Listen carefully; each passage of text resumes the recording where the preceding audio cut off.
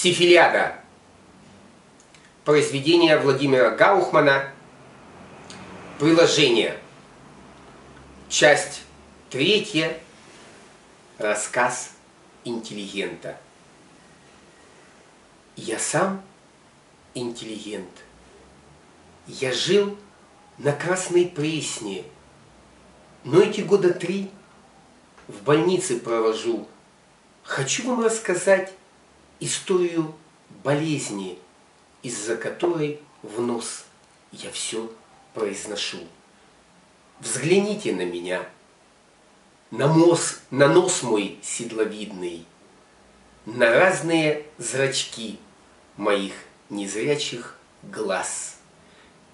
И вне сомнения всех диагноз очевидный заставит отбежать храбрейшего из вас.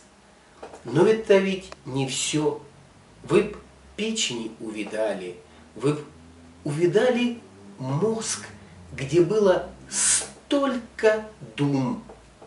Я на себе ношу, как старые одежды, огромные рубцы, следы от сотен язв.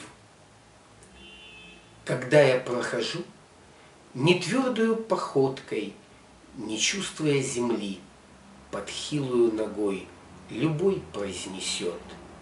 Идет больной с уходкой, с уходкой спиной, произнесет другой. Я уж не организм, я только оболочка, хранящая в себе запасы спирохет. Но я не одинок.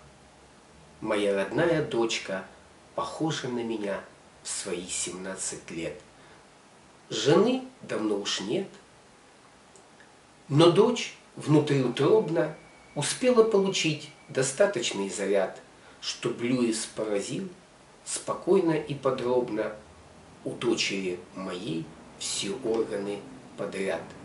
Я и сейчас не стара, хоть никуда не годен, а в двадцать с лишним лет какой я был герой как русский богатырь с классических полотен, как древний Аполлон или Рамсес II. Я представлял собой не личность, а картину. Я был брюнет, остряк, начитан, умный взгляд.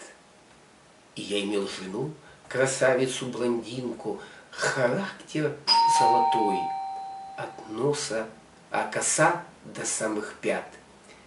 И лишь единый раз в благословенной Ялте я изменил жене. О, страшная вина. Она была стройна, она была бухгалтер, благоухала, но была больна. Когда я видел Шанг, я думал, эта штука, вульгарные дела, не надо мне больниц. Зажил мой твердый шанка, как говорит наука. Потом и сыпь была, я думал от яиц. То появлялась сыпь, то исчезала снова. То волос выпадал, то голос пропадал. Минуло десять лет, а мне все было мало. Все что-то объяснял и все чего-то ждал. Дождался я того, что вот лежу на нарах, проклявший белый свет и все свое житье. Ах, милая жена, ах, чертов тот бухгалтер! Какая жизнь была, да мимо вся прошла.